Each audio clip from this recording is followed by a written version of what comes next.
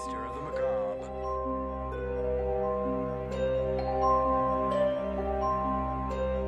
Sup folks, it's Ray Pooperton III with another Infinite Warfare Zombies video. Today I've got a video going over the new weapon, the RVN. It's an assault rifle conversion melee weapon that was added in a recent update. The AR function of the gun is not very powerful and there's not much special about it. The real point of interest for me was the melee function. When you switch to the secondary function, the weapon splits apart and becomes two melee weapons, one in each hand. They're reminiscent of the Galva Knuckles from Black Ops 2 and give you a nice boost to your lunge range. On top of that, there's a slight speed boost when the melee mode is active. Pair this with the Rings Charm on Rave in the Redwoods and you won't even have to worry much about lunging into a situation you can't get out of. There are a few variants of the weapon that may be of interest to you. The Braincase Bruiser gives the melee a damage boost that adds one round to the one hit kill cutoffs I will go over shortly. The Blowout Epic variant causes a cone explosion that damages nearby enemies. I've seen mixed reviews on this variant in the Reddit Zombies community. So far, the RVN is found only in the Mystery Wheel. Maybe soon we can hope for a DLC map with this awesome gun on the wall. If so, it will be a must buy for me because this thing will rack you up some points. At 130 per kill, this melee weapon is a point monster compared to the standard melee weapons, which only give you 60 per kill.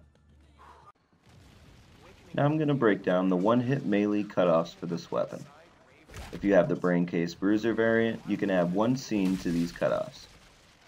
At round 15, the RVN will require Slappy Taffy to keep your wet work going. Once you grab it, you're good for another 6 rounds.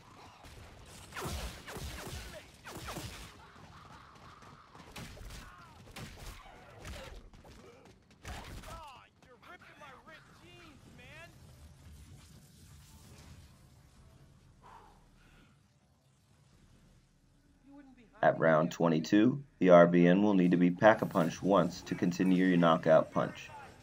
Head to the projector and drop the 5 grand for the new and improved Dr. Own.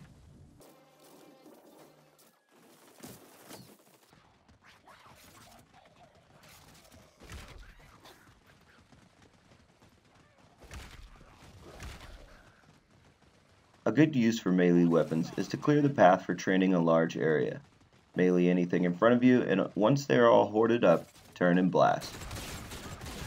At round 27, you will need to double pack the gun to keep up the rampage. If you're on ZIS, you will need to complete the main egg to do so. A guide for this will come up now. If you're on Rave, if you beat the ZIS egg, the fuse will carry over. If not, just grab the fuse from the spawn and install it. A guide for that will come up shortly as well. Once you double pack the RVN, it becomes the MF Stine. I can't help but wonder if this is a nod to R.L. Stine, the author of the Goosebumps books. If so, that's dope. I grew up on those books.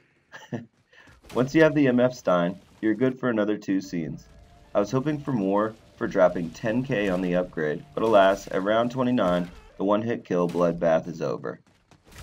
And that's all there is to the RVN. Stay tuned for another breakdown and cutoffs video on the Reaver variant as soon as I get it.